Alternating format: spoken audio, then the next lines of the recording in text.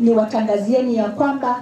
kwa kuangalia mambo ya drought, serikali kuu iliweza kutupatia livestock offtake ya 420 eh, livestock ambayo tutatoa katika eh, ward zetu 15 ambazo ziko most affected, na hizo ng'ombe zitapelekwa Kenya Meat Commission na baadaye hiyo nyama itarudi kusaidia watoto wetu katika uh, mashule.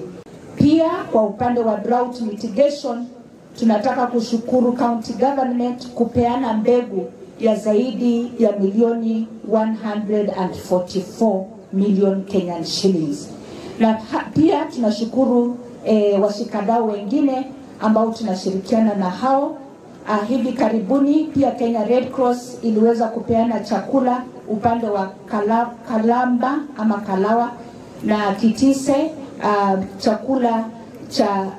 familia 550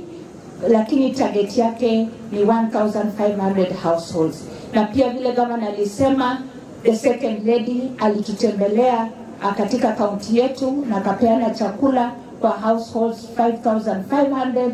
na pia national government iliweza kutupatia maragwe eh, eh,